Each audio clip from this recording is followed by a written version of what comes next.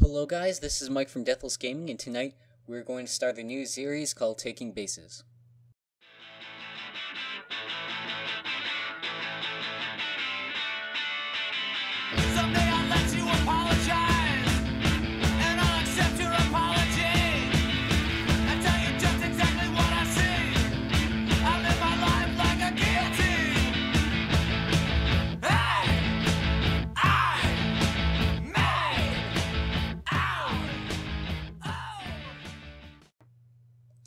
Alright, so what is Taking Bases? Well, it's basically me going over some strategic geographic points on uh, each of the um, heavily fought over bases. So if you've been, you've most likely been to these bases a lot, and I'm just uh, summarizing basically what points you really can attack, to, and uh, hopefully help you improve your game, single player or platoon.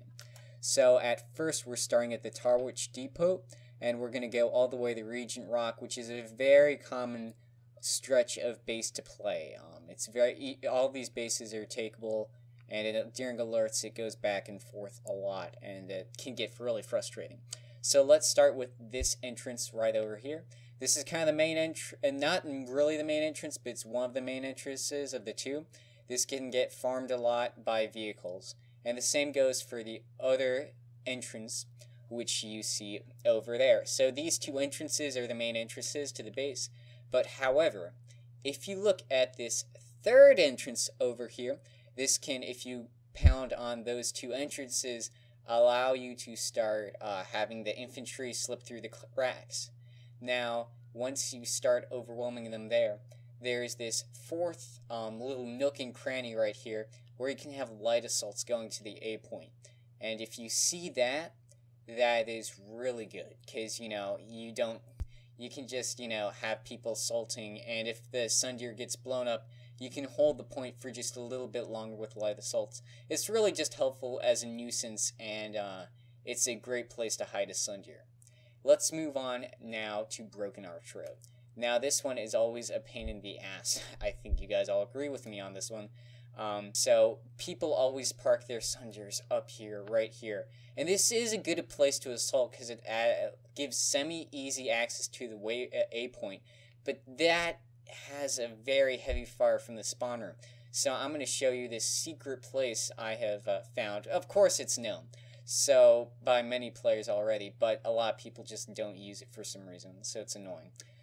At the other point, you can have them spawn Sunderers here, and up this secret little pass, you can take control of that main hill um, over the spawn room, and that is extremely valuable. I mean, oh my gosh, this it basically gives you a two-way flank on Broken Arch Road if you need to take it, and it really crushes it. I mean, like, if you're having problems at all, this would like because you're getting you can fire upon the spawn room, and on top of that, you can have access to the A point and get Sunders to that A point. So it's a very good place. Now this cliff over here, I mean it's nice and all, um, it's a great thing, but this is where the farmers are, and they don't really um, contribute as much as they could. The last salts can get to A point, so it's sort of helpful to have a Sunderer here, but um, not as much as um, having the cinders flood where I just showed you. Let's move on to Crossroads. And oh my gosh, Crossroads is one of the most fought uh, over bases in the entire game, besides Regent Rock and the Crown on Indar. So, uh, the first is that main hill, obviously, what I'm showing you right now, but also this hill right here. This hill's a great place to um, use that back entrance to Broken Arch and get more Sunderers out here without getting too much heavy fire. And using both the first and second hill I have just showed you, you can really assault. And this secondary hill really allows you to get into this gap on C point without taking too much fire since it gives you a little ravine.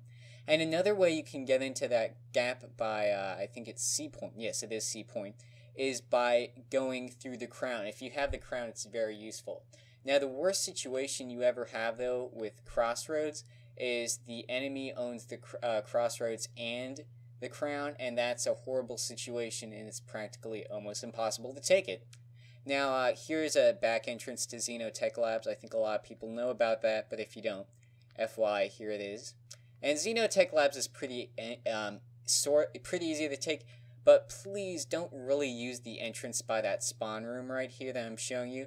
It's really not as good as it could be. I mean, like, sure, if you're already on a point, you can use it to cut off the spawn room, but really, this entrance, this gateway by the turret, allows much more easier access uh, to the A point if you have Sunderers parked here.